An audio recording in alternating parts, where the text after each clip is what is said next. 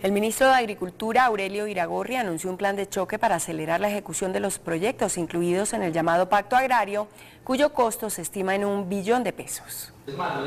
El Pacto Nacional Agrario recibió 89.847 propuestas para la construcción política pública y de desarrollo rural.